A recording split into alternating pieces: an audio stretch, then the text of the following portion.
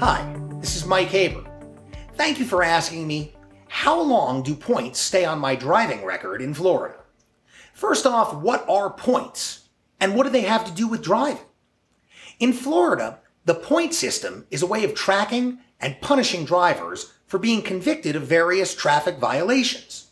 In order to get points, you have to first be convicted of a traffic offense. If you're not convicted, then you're not going to get points.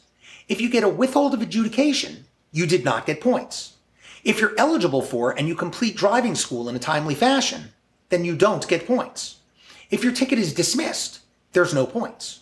You only get points if you're convicted. Most traffic tickets in Florida carry three points, though some carry four, some six, some none, but most carry three. In Florida, points stay on your license for three years, and that time starts to tick after you have been convicted and also after all of your court-ordered requirements have been satisfied. For instance, the payment of all fines, court-ordered traffic school has been completed, etc. Points are important for two reasons. One, if you get enough of them in a certain period of time, you earn an automatic suspension of your driver's license. 12 points in 12 months gets you 30 days. 18 points in 18 months, 90 days.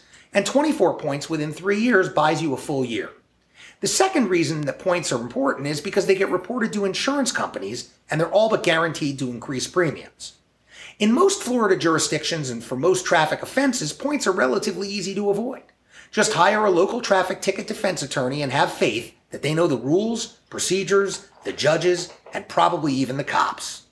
Thank you for your question. I appreciate your having asked it, and I invite you to ask me more. Please remember at Haber PA, it's all about reasonable doubt. And if you like this video, subscribe. We'll be putting out more soon.